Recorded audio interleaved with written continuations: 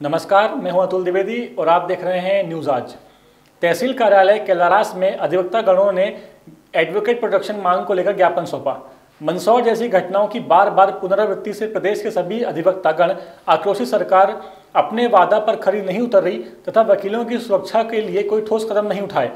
अगर advocate protection act शीघ्र नहीं बनाया गया तो वकीलों की सुरक्षा समुचित रूप से नहीं की गई तो प्रदेश के समस्त अधिवक्तागण अनिश्चित काल के लिए हड़ताल पर चले जाने के लिए बाध्य होंगे। अभिभाषण संघ कैलाश प्रतिवाद दिवस मनाते हुए एडवोकेट प्रोटेक्शन एक्ट का समर्थन करते हुए प्रदेश के अधिवक्ता गणों की हड़ताल का समर्थन करता है। कैलाश से गौरव गौड़ की रिपोर्ट। मध्य प्रदेश राज्य अधिवक्ता परिषद के आह्वान पर आवासा संघ कैलाश द्वारा प्रतिवाद दिवस मनाया जा रहा है। आज मंदसौर की गंभीर घटना के मद्देनजर सभी प्रदेश के अधिवक्तागण हड़ताल पर हैं। सरकार वकीलों की सुरक्षा के लिए कोई कड़े प्रबंध नहीं कर रही है। सबलगढ़ में पुलिस अधीक्षक मुरैना एवं अतिरिक्त पुलिस अधीक्षक के निर्देश एवं अनुविभागीय अधिकारी पुलिस के मार्गदर्शन में पुलिस ने चेकिंग अभियान चलाया, जिसमें चालान काट कर जुर्माना वसूला गया।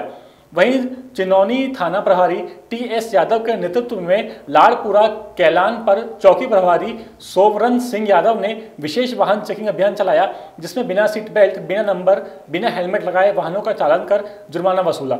इस अवसर पर वाहन चालकों को हेलमेट पहनने की समझाइश भी दी गई। इस अवसर पर थाना प्रभारी टी एस यादव, सोवरन सिंह, लवकुश शर्मा, सत्येंद्र गुर्जर, अर्जुन सिंह एवं चौकी एवं थाने का स्टाफ उपस्थित रहा।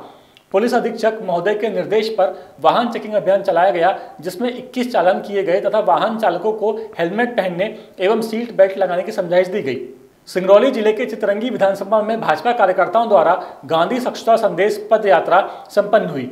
आपको बता दें कि आज विधानसभा चितरंगी में स्वच्छता संदेश यात्रा निकाली गई।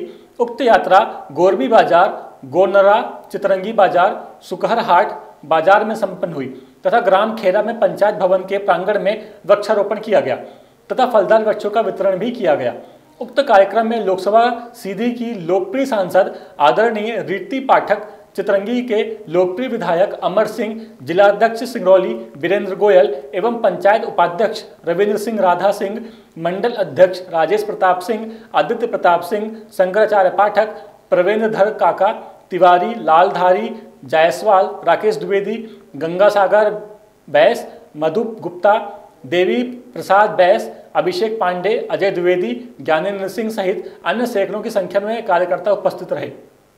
उपेंद्र दुबे की रिपोर्ट। निर्णय लिया है कि गांधी जी के 150वीं जयंती पर हम सब लोग प्रत्येक संसदीय क्षेत्र में, सांसद जी के नेतृत्व में और वहाँ के स्थानीय विधायक की उपस्थिति में यह पदयात्रा निकाल रहे हैं, जिसमें कि हम सबों का मुख्य रूप से उद्देश्य है कि शहर को स्वच्छ बनाना और जो हमारे महात्मा गांधी जी के सपने थे कि एकल प्लास्टिक से इस देश को कैसे छुटकारा मिले, उसके लिए जागरूकता अभियान फैलाना और जल संरक्षण जो दिन प्रतिदिन जल का स्तर गिर रहा है, उसको जल को कैसे संरक्षित किया जाए और पर्यावरण ज़्यादा से ज़्यादा किया जाए, जिससे कि यहाँ पर किस इस तरह के कोई भी जो शहर में जो प्रदूषित वातावरण हो रखा है, उसको हम सब लोग दूर कर सके। इसी के तहत हम लोग जो है, चित्रंगी विधानसभा में आज जो है पदयात्रा निकाले हैं और लोगों से संपर्क कर करके ये लोगों में जागरूकता पैदा कर सिंगरौली ज़िले के मोरवा जोन वार्ड क्रमांक एक सीईटीआई बस्ती, बैस बस्ती गुलाहाड़ स्मशान घाट बस्ती में डब्ल्यू रोड निर्माण लागत सात करोड़ छियानवे हज़ार चार सौ बयालीस रुपए का भूमि पूजन महापौर श्रीमती प्रेमवती खैरवार जी के मुख्य अतिथि संपन्न हुआ।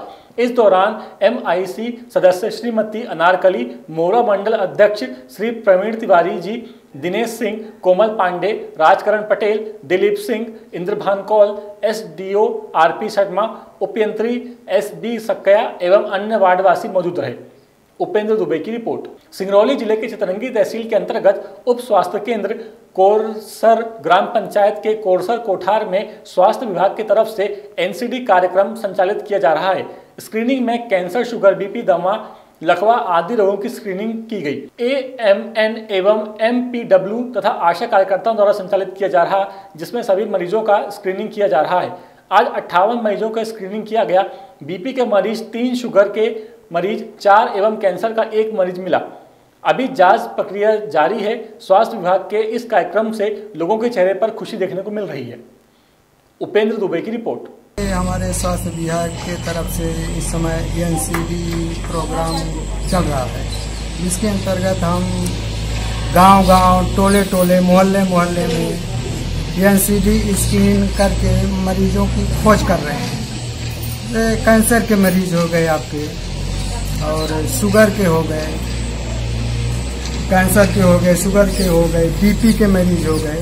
इन लोगों की खोज स्क्रीनिंग करके हम लोग स्क्रीनिंग करते हैं। सिंगरौली एनटीपीसी विंध्याचल के प्रबंधक ने अपनी ही धर्मपत्नी से मारपीट कर घर से बाहर निकाल दिया।